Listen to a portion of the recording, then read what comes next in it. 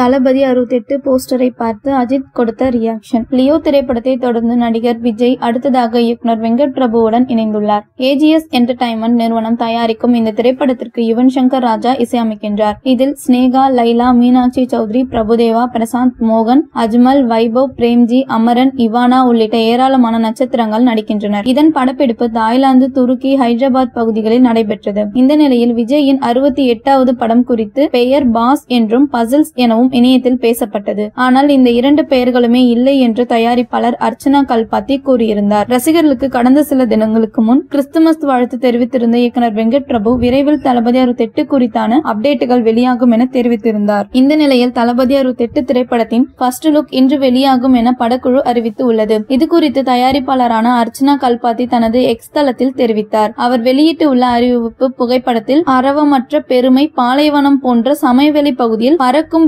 விமானத்தின் நிழல் மட்டும் தெரிகிறது. தற்போது மாசான லுக்கில் விஜயின் போஸ்டரை வெளியிட்டு ரசிகர்களை கொண்டாட வைத்துள்ளார் வெங்கட் பிரபு இணையம் முழுக்க இந்த படத்தின் போஸ்டர்கள் தான் ட்ரெண்டிங்கில் உள்ளது. ரசிகர்கள் மட்டுமின்றி ஏற்கனவே அஜித்தை வைத்து மங்காத்தா படத்தை இயக்கியிருந்தார். மிகப்பெரிய வெற்றி அடைந்தது அஜித்தும் வெங்கட் பிரபுவுடன் நெருங்கிய நட்பு உள்ளது. இந்த படத்தின் போஸ்டரை பார்த்து போனில் வாழ்த்து கூறி இருக்கின்றார் விஜய்க்கும் தனது வாழ்த்தை தெரிவித்திருக்கின்றார்.